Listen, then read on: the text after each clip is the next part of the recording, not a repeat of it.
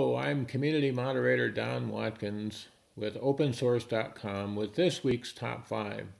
This week we take a look at how the Go programming language is skyrocketing, how you can use Go in a Raspberry Pi to create music, and how your cat can be a model for open source community management. At number five, three open source alternatives to MATLAB. OpenSource.com editor Jason Baker introduces readers to GNU Octave, Scilab, and Sage. In the article, there are also links to five other open source tools that may prove useful in your mathematics studies.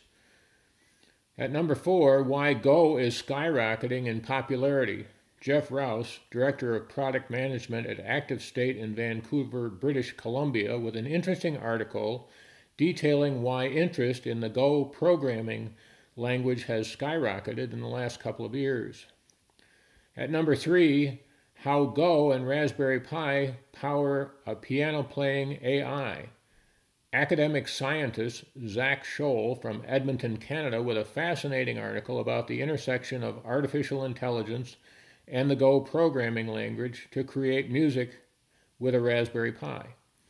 At number two, how to get involved with open source if you're a cat. OpenSource.com columnist Seth Kenlon with a metaphoric invitation to join an open source community. And at number one, five open source personal finance tools for Linux.